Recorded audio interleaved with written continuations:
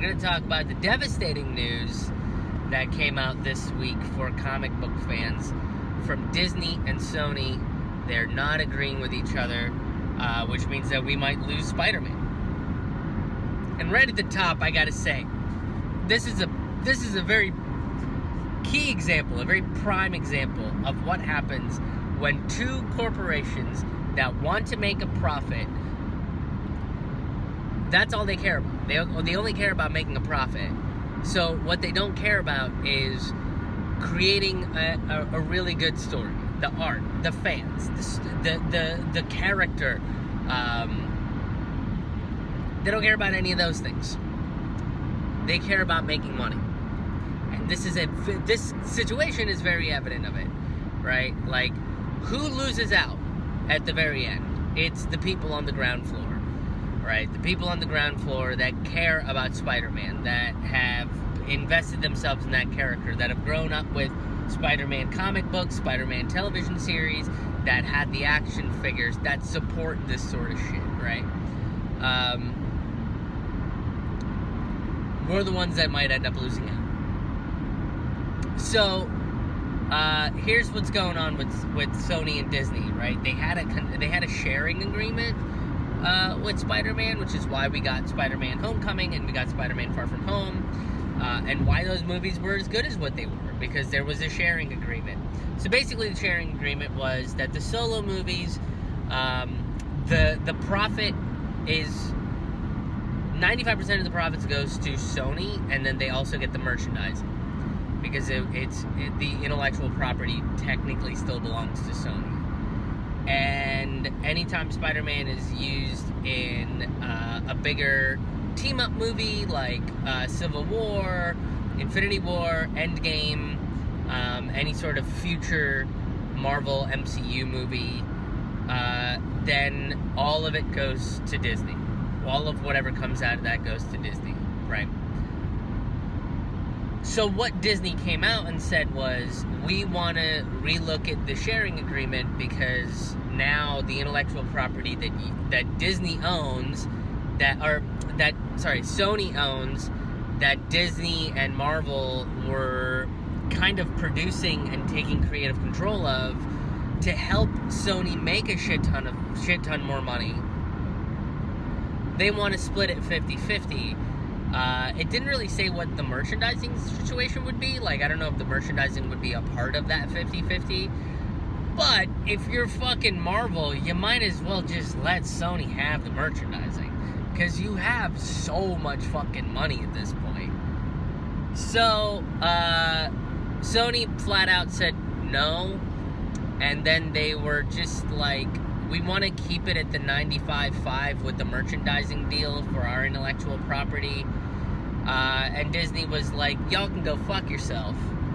And uh, that's where it is. So, right now, what the limbo is, there's a bunch of different stories that are being reported about this.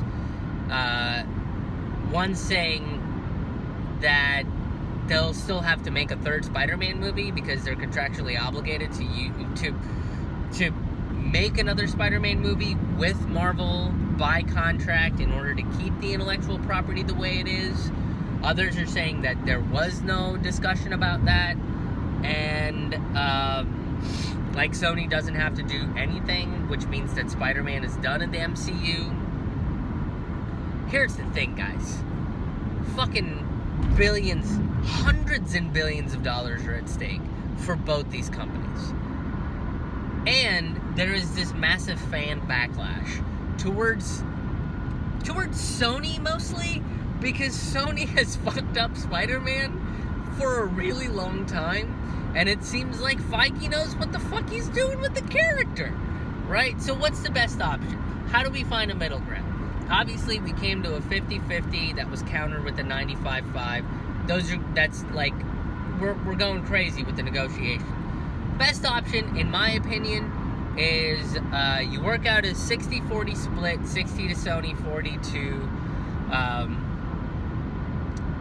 to to Disney. You work out merchandising, right? You let Sony keep the merchandising for the solo films, but Marvel and Disney get all creative control as to what happens with the story, how the characters are used, um, and uh, all of the casting and directorial stuff. That would be a fair way to deal with it. Sony and Marvel still get to make a fuckload of money off of this. The fans get to see the best Spider Man, which is Tom Holland, continue to be the best Spider Man with really good fucking Spider Man stories and his integration with the um, larger you, you know MCU because at this point Peter Parker and Spider-Man are too integrated into that universe. To, to just be like well he's gone now. Where'd he go? What the fuck happened? What shitty dumb thing are you gonna say right? And you know because look a lot of the fans are also are younger kids. Younger kids are watching these movies right? Or, or, or it's like just regular old fucking moviegoers are watching this movie.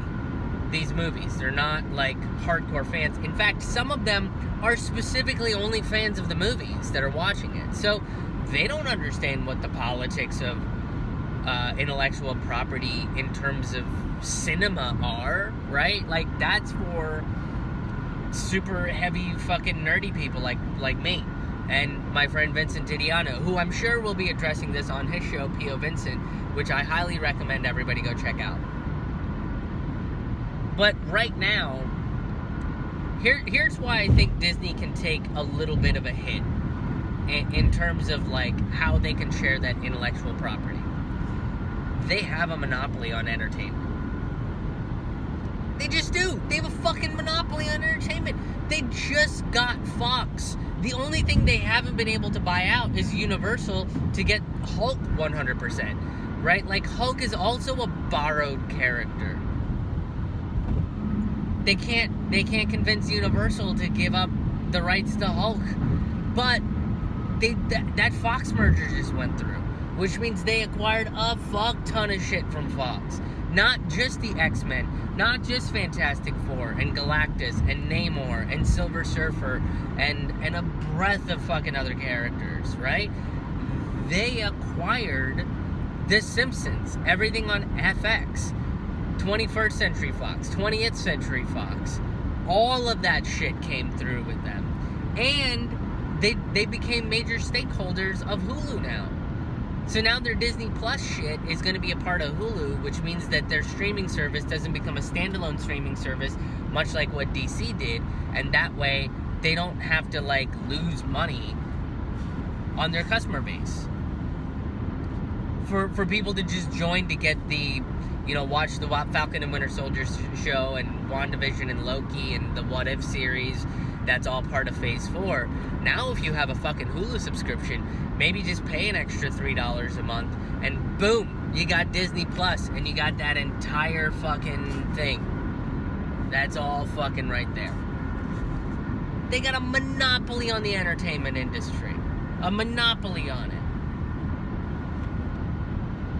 So, you know, if I were Kevin Feige, I'd be looking to what what serves the, the needs of the fans a little bit more and essentially fight for creative control of that intellectual property.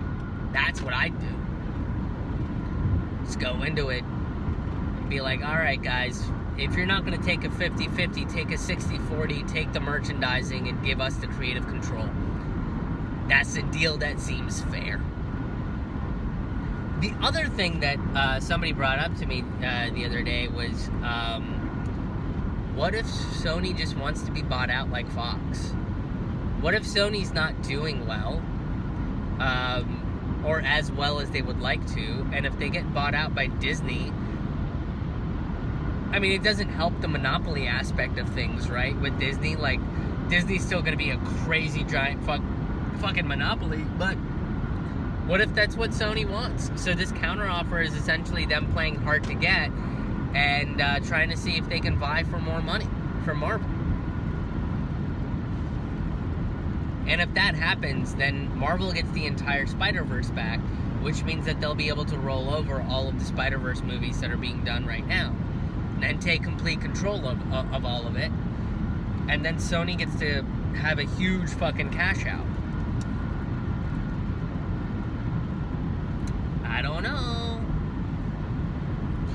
Uh, the story is not over yet, and I don't think it's gonna land on them just being like, "Well, fuck you guys," and walking away from it because there's way too much money left on the table, and there's way too much fan backlash left on the table too. So it's like, why would they leave all that money and all that fan backlash? Both companies will end up losing a specific amount of people because I, I guarantee you, even if Tom Holland is in it, there will be a specific amount of people that will not go see a Sony, a solely Sony produced Spider-Man movie as part of that trilogy. Because nobody has faith in Sony to make a good Spider-Man movie anymore. You fucked up the Andrew Garfield one. It was all over the fucking place. You fucked up the, the Tobey Maguire one. That got became all over the place. You didn't really know what to do with the character. And Kevin Feige and the rest of the MCU team do and they've proven it twice over. So it's gonna and, and it's gonna land on what Tom Holland wants. Everybody that's part of that franchise now, Tom Holland, um, Zendaya, um, Jake Gyllenhaal, Michael Keaton, Jon Watts, the director, all of those people are gonna have a say as to like what they want to do with that that property, right? Like they're invested in it as well. And if it's this studio bullshit battle, and and it does get left where it is right now which is like we have no idea if we're ever gonna see Spider-Man in another fucking Marvel movie ever again after we after we reinvested ourselves in it it just proves that once again I mean this is a, this is a low stake version of it kind of because it's just like entertainment in a, in a sense right it's a, it's a it's it's we're talking about movies not talking about like healthcare right like, whenever two healthcare giants go to battle with each other, people's lives are literally at stake. This is more of the entertainment value of, things and us invested in the art that, that speaks to us. And I'm not downplaying it, I'm just saying, you know, it's a little bit difficult to compare and contrast those things. But, but on principle, it's the same thing. It's two corporations going to battle against each other, and, and who's left at the end? Who, who's, who's left who's left dealing with the fucking backlash of all of it? You know, when two countries go to war, who's left dealing with the backlash of all of it? The people that live there. That's who it is. And that's where it is now, you know? Like, and protest it. I would say if you're a comic book fan, if you're a big nerd, if you're a Spidey fan, protest that shit. Fucking let them know. Let them know where you stand. You know? because there's to be a bunch of people that won't go see it and they don't want and they don't want to lose any money neither party does so that party's to need to come the both these guys need to have to come to a fucking amicable resolution that at the end of the day at the end of the day it's going to be a profit driven motive but that profit driven motive has to be driven through what is best for the actors for the crew for the director for the story and for the fans that's where it needs to be Hey everyone, uh, thanks for watching this video. If you enjoyed it, please like and share it. Uh, these are little clips from a little segment I do called Road Reflections, where uh, I go live on my Facebook page uh, and talk about current events, creativity, uh, touring, what's going on uh, in, my life. So if you enjoyed this kind of content, you can go and like my Facebook page and follow me on Twitter and Instagram at Krish Mohan. Ha ha. Uh, I'm also performing live stand-up comedy all around the country. If you enjoyed these uh, little snippets of socio-political commentary, uh, it's very similar to what my stand-up comedy is. You can go to ramannoodlescomedy.com for all of the show dates and tickets. It's R-A-M-A-N noodlescomedy.com. Uh, and if you want to continue supporting DIY, independent, socially conscious comedy content, you can become a patron today. I don't have uh, any corporate sponsors or any small business sponsors just yet. So at the moment, I am people sponsored. I'm sponsored by you guys. So you can go to patreon.com slash krishmohanhaha and become a patron today, starting at only $2 a month. You can check out all the tiers and rewards.